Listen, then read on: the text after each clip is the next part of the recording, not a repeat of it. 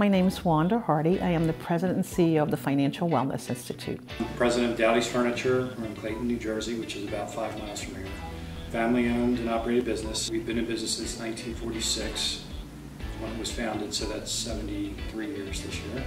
Project-based learning was introduced to me by Steve Kazachian. Um, I've known Steve for a number of years and over a conversation he told me about what Rowan was trying to do to give their students that experience and um, would I be interested? When I heard about it I thought, sure, why not? I mean, you know, to get any um, sort of business ideas or perspective from college students, young students who are about to enter the workforce, uh, especially that are involved in the business school, uh, would be, to me, almost invaluable.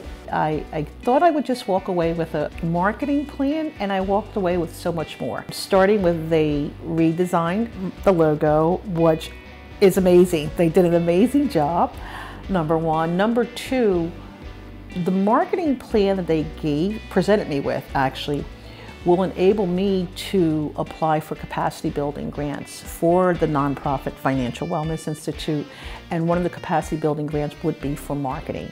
There were four groups um, and they each made a presentation and I was just kind of blown away really by some of their ideas. It's amazing.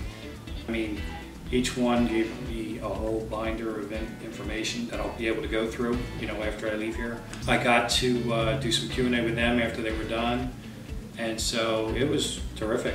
The collateral materials that they discussed, the online presence they discussed, just amazing. It's, it's an awesome proposal, and in addition to that, they not only put the proposal together, they went as far as identifying the pricing for the breakdown of that proposal. It wouldn't just be for a retail business like we're in, it probably could be for almost any business, I would think.